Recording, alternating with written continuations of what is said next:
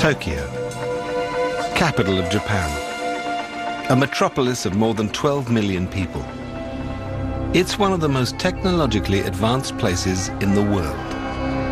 In Japan, tradition and progress struggle to keep in step.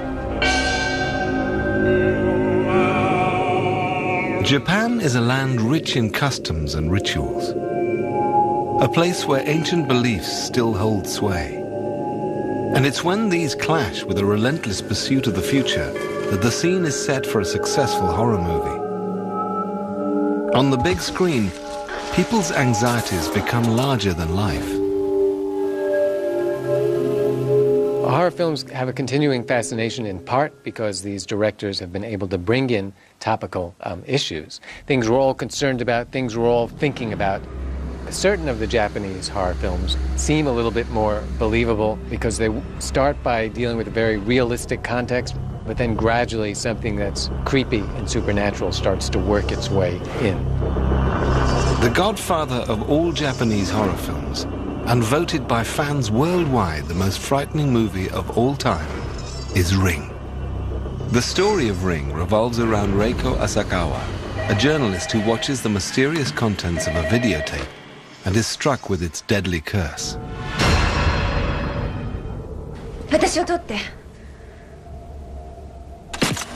Anyone who watches this tape has only seven days to lift the curse or face the wrath of Ring's infamous female villain, Sadako. This unforgettable scene was so frightening that many Japanese audiences were too scared to turn on their TV sets for days afterwards. But it was the character of Sadako that had the most impact on Japanese audiences and turned Ring into a classic.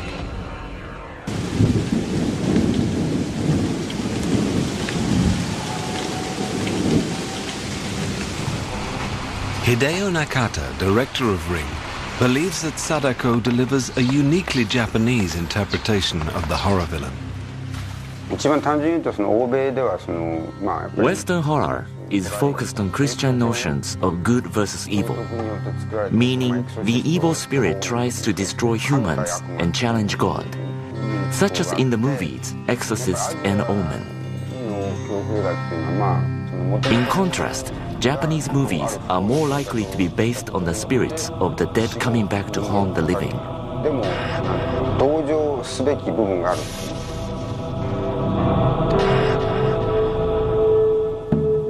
The Japanese believe that everyone possesses a reikon, or soul. It is said that when someone dies, the soul joins his ancestors to watch over the living.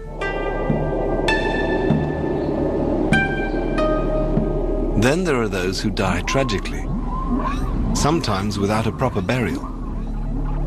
These souls become yurei, tormented ghosts who remain among the living to seek revenge.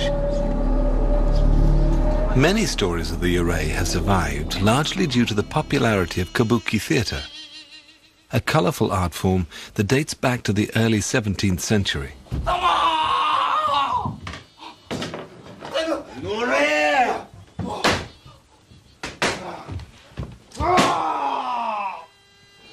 響を与えてると思いますねあのホラー映画の方に I think kabuki plays have heavily influenced Japanese horror movies.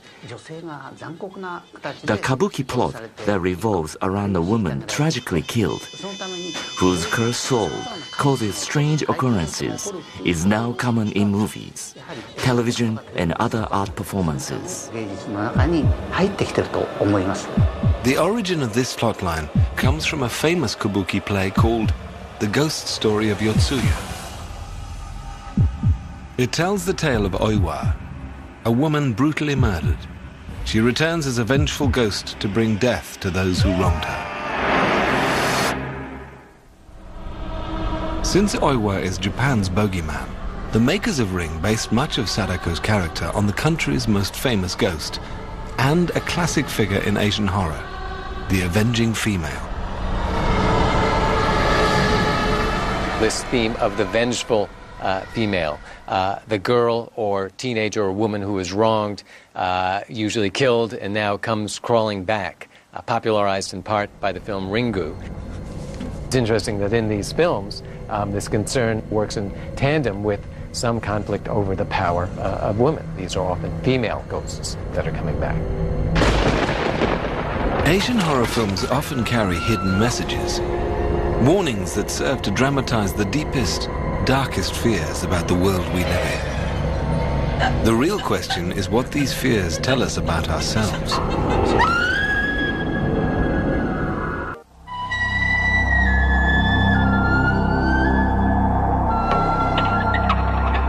The Japanese believe that gateways exist between our world and the spirit world. Ancient superstitions and traditions warn us to keep the gates closed. They believe that the forces of evil and even death can come to those who break this taboo.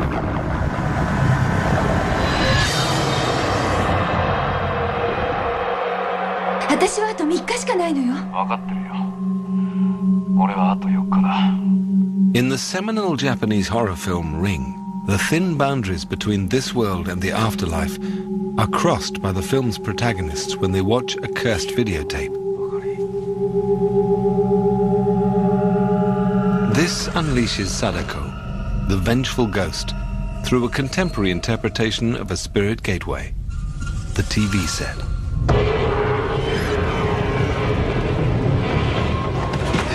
Mm-hmm. At that time, VCRs and TV monitors could be found in every room, not just in every household. The idea of an everyday appliance becoming a portal to hell was what appealed to people.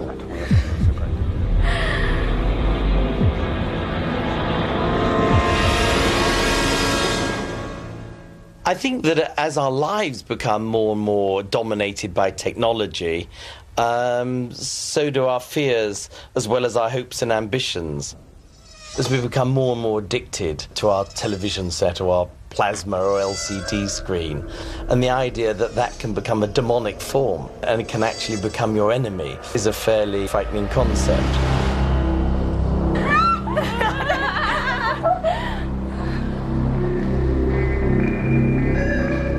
Idea of a ghost crawling out of a TV set may seem novel, but it actually draws its roots from an older, more sinister gateway through which the dead have traditionally emerged.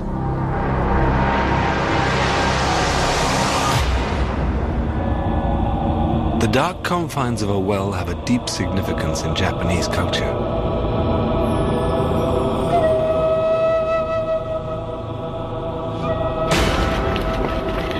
A famous folktale from feudal Japan tells the tragic story of a servant girl who was once humiliated by her master.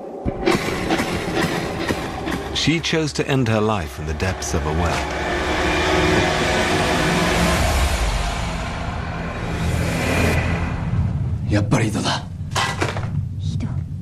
In Ring, Sadako reveals her connection to the well through Asakawa.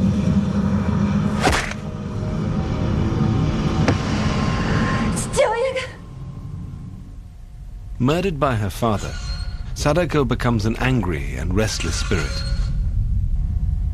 She rises from her watery grave to seek revenge.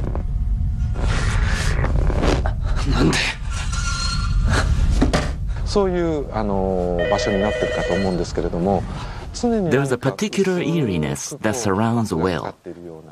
ある時にはこうあの血の Sometimes the dripping water resembles blood.